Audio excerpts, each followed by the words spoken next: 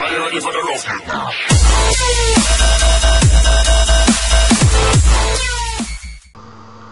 up YouTube? This is Hussain from TechMen45 and in this video I'm going to be showing you what's on my desktop. So let's get started. The first thing I'll be showing you is this animated wallpaper. This is called Okozo.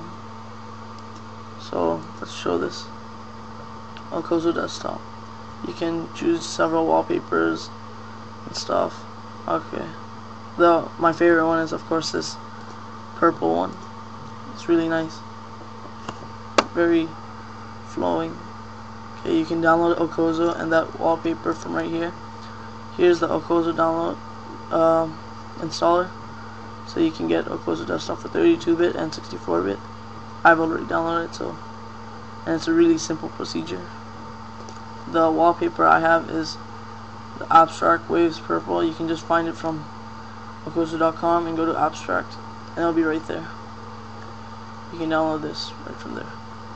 Okay, so the next thing that's on my desktop is Rainmeter and all these Rainmeter skins.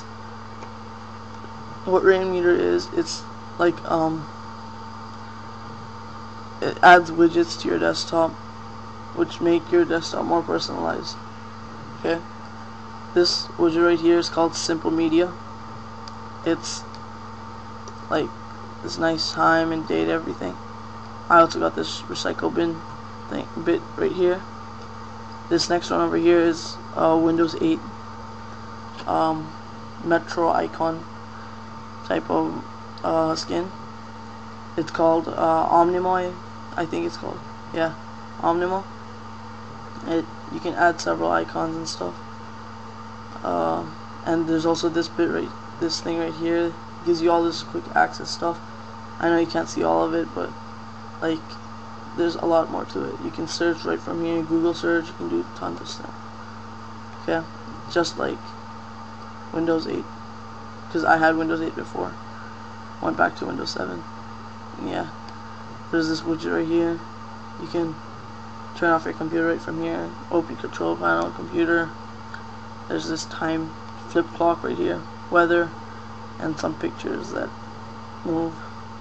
There's also this thing where you can add styles and settings. Like for example, I wanna go to my settings. I can like uh, edit my weather code and stuff like that. Add my icon set, all that stuff. And you can also do styles. Uh, this is really neat, and you can change the look of the icons. Um, so for example, if I want it like something like this, I'll apply this. Uh,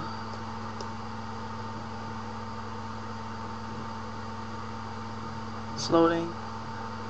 Slow when all these things are running, but that's alright. Okay, and we have a whole new look to the icons. Okay, let's close that. And yeah, the downloads are right here. Rainmeter download, the Simple Media, and Omnimo UI. Okay, so the next thing is called Classic Shell. So what this does is it like completely changes up your um, start menu and it just gives you quick access everything like you can cu customize the look and everything. So for example you can go to settings and there's a ton of stuff you can do. Full glass metro. So let's just do metro for now. And boom you have like a metro styled um, start menu. Yeah this is called classic shell. You can get it from here and the start orb I'm using is this one.